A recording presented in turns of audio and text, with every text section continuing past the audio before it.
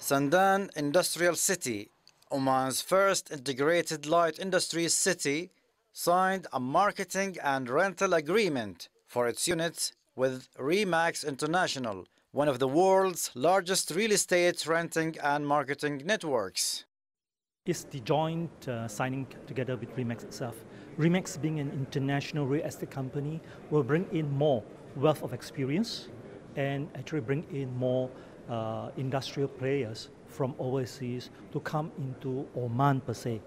What we are trying to do is for Sandan itself is to become a platform you know, for all international business, SMEs, as well as national business to develop in Oman per se.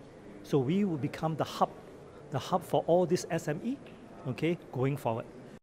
Sandan City aims to attract light industries, related enterprises and activities to Oman and beyond, including construction relating activities.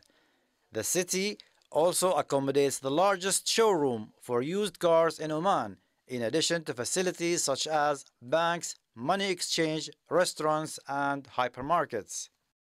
Sandan is the future, uh, and it has set a benchmark when it comes to industrial and uh, commercial sector real estate. Uh, Remax being one of the largest real estate companies in the world, in Oman, our focus has been on strategic projects, um, working with partners that want to enhance the Oman economy. With Sandan, um, the level of service that will be provided, it will be the first fully integrated managed industrial park uh, in uh, Oman. Sandan has previously announced that the delivery of units will start at the end of the fourth quarter of this year.